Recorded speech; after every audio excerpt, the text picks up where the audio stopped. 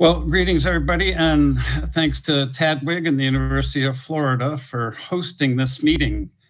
Uh, I'm going to talk about Fungal Diversity Survey, or FunDiS for short. Uh, as Rob mentioned, we're an all volunteer, nonprofit community science organization. We were founded in 2017 as the North American Mycoflora Project. We recently dropped the mycoflora because fungi are a separate kingdom, more closely related to animals than to plants, in fact. Fungi are one of three major kingdoms of multicellular life on Earth. So, our mission is to increase scientific knowledge and public awareness of the critical role of fungi in the health of our ecosystems and to better utilize and protect them in a world of rapid climate change and habitat loss. We do this by equipping community scientists working with professional mycologists with the reporting tools to document the diversity and distribution of fungi across North America. In 2020, we narrowed our focus from documenting everything to documenting threatened fungi and crowdsourcing the data needed to protect them. So we are addressing a major gap in biodiversity conservation, fungi. Fungi are ecologically important. Uh, among other roles, they're essential symbionts with almost all plant species they're hyper diverse. Estimates range from 2 million to 12 million species, but fungi are poorly known. Probably fewer than 5% have been described. And fungi are threatened by the same forces that are threatening plants and animals, you know, climate change, pollution, habitat loss, invasives, and so forth. So the bottom line is that fungi have been overlooked in conservation. The number of species evaluated for red list status by IUCN is negligible compared with plants and animals. So, given the decline in funding for mycology and taxonomy generally, we wondered if amateur mycophiles could crowdsource fungal documentation and discovery and fill that gap. Our engagement model has four levels of increasing information value to science document, sequence, voucher, and super user. I'm just going to talk about the first three levels here. So we aim to tap into the exploding fascination with fungi, especially among young people, and interest them in contributing to conservation and to science engage them in relatively simple tasks, and then gradually involve those who want to do more in increasingly more complex tasks. Level one is document in the field with photos that are geotagged and timestamped and uploaded to the internet. So we have two programs that focus on documenting fungi for conservation. A biodiversity database on iNaturalist and rare fungi challenges. I'll tell you a bit about those. We were inspired by two community science projects abroad. One you just heard about from Tom May. Fungimap in Australia was the inspiration for our biodiversity database. The Lost and Found Fungi project in the UK was the inspiration for our rare fungi challenges. It was coordinated by the Kew Royal Botanic Gardens. So, our biodiversity database aims to address two critical needs common to all conservation work getting reliable data and lots of it. Unfortunately, many fungal observations posted to iNaturalist, like these, are of little use for scientific analysis. And research grade in iNaturalist for fungi is not a reliable indicator of data quality. So we engage triagers, we call them, to flag substandard observations and help beginners post better images and metadata. and identifier, identifiers to review observations and correct or provide fungal names. But it also takes massive amounts of data to predict the probability of a species going extinct.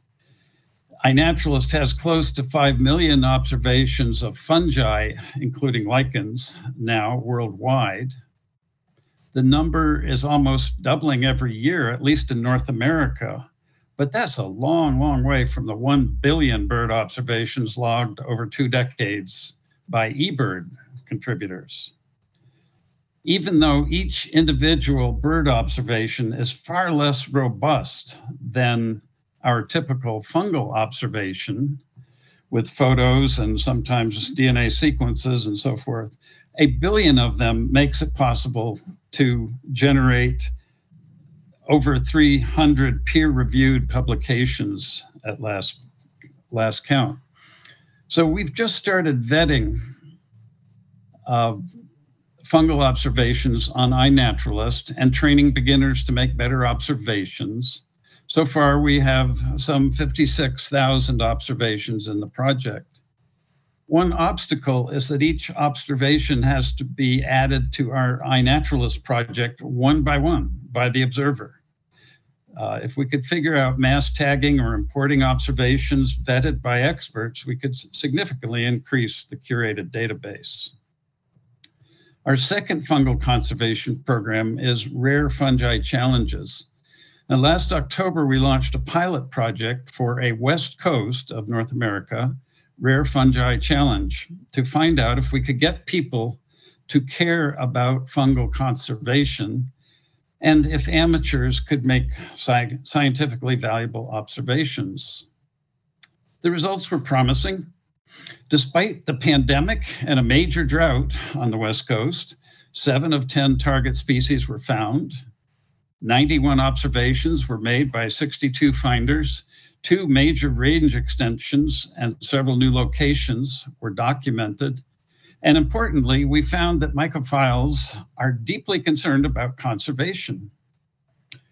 So we're continuing the West Coast Challenge, now with 20 species, and we're about to launch a Northeast Rare Challenge that will go from Quebec down to Pennsylvania.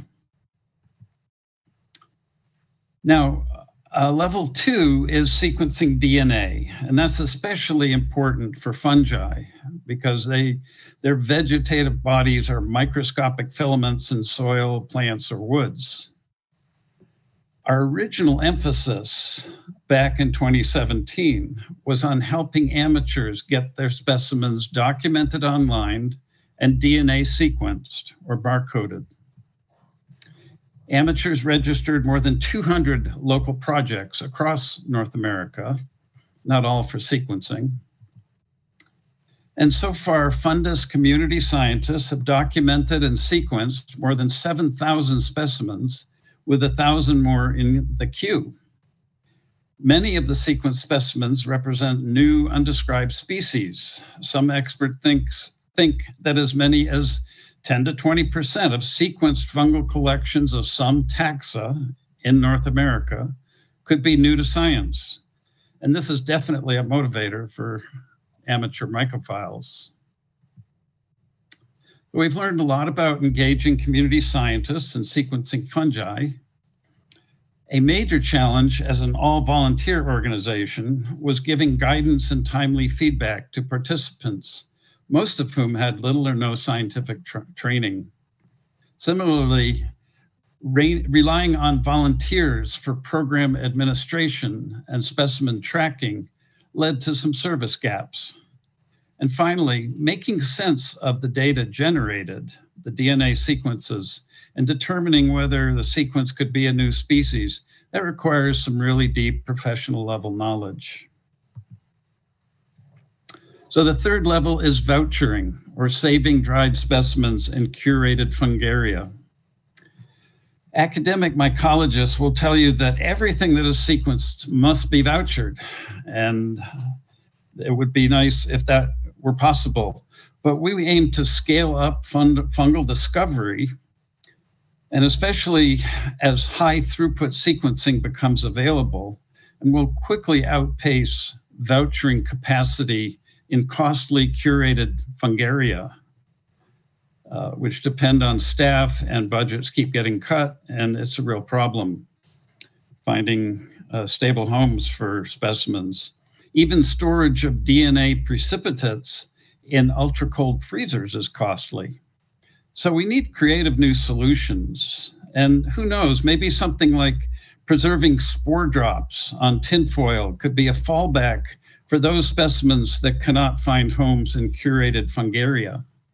Spores contain all the DNA and slips are tiny. Um, another thing might be the the FTA cards uh, is a way you could store millions of of uh, vouchers and at least uh, preserve the DNA. So this diagram, which I'll just show for a few seconds, uh, shows the automation and tracking systems we'd like to create for our project. But with volunteer programmers, we've only accomplished a part of it. FunDiS is currently focused on finding funding for staff and operations and a sustainable business model generally. If we're successful in finding funding, we believe we can bring fungi to the conservation table on a par with plants and animals by mobilizing community scientists.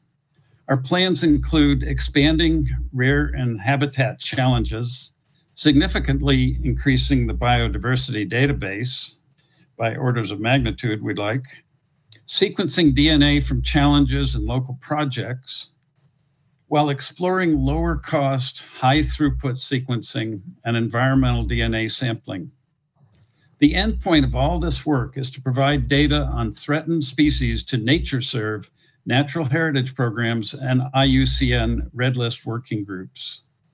We believe that mobilizing an army of community scientists is the best hope for obtaining the data needed to document fungal biodiversity and protect threatened fungi before they go extinct. And I want to thank all the incredible volunteers that have made FunDiS so special.